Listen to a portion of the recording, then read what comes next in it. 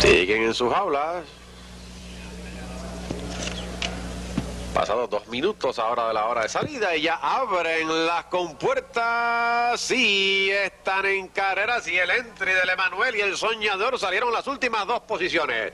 Mientras tanto, los primeros 125 metros, el Centurión domina con medio cuerpo. Viviana B para el segundo. A dos, Mr. Heavy en el tercero. A tres, Felipe D en el cuarto para el quinto. Fasten. Sexto corre Mama Luisa. Están pasando los 800, van a los 700 finales. El Centurión. Tres cuartos de cuerpo en la delantera delantera Viviana B sigue presionando en el segundo. A cinco Heavy en el tercero. A dos en la cuarta posición corre Felipe D. Para el quinto Fast en sexto se está colocando ahora Les Manuel. Pasan los 500, van para los 400 finales y Viviana B a la parte de afuera. Está pasando a la delantera, despega dos cuerpos. El Centurión para el segundo. Mientras tanto en el tercero Felipe D. Cuarto se coloca Les Manuel. Están faltando ahora 250 metros para el final sigue Viviana B dominando con cuatro cuerpos ahora. Felipe D para el segundo, Le Manuel afuera en el tercero. Aquí en los 100 metros finales, Viviana B pierde terreno. Dos cuerpos Felipe de ataque en el segundo. Viviana B un cuerpo Felipe de ataque. Están llegando a la meta y Viviana B por el pescuezo.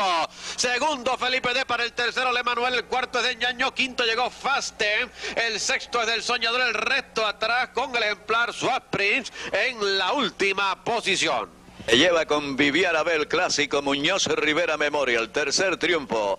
J. García es el jinete ganador, 109 libras. Cerró de quinto candidato, Viviana B cerró de quinto candidato. Llegó segundo el número 2, Felipe D. Tercero llegó el 1, Le Manuel. ¿Eh?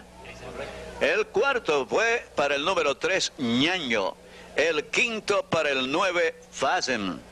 El quinto para el 9, Fasen. 1-13-1, los fraccionales. 6, Viviana B gana el clásico. Y Peter Aponte tiene tres victorias. Tiene tres victorias Peter Aponte. En la tarde de hoy ganó con Raleigh Buin.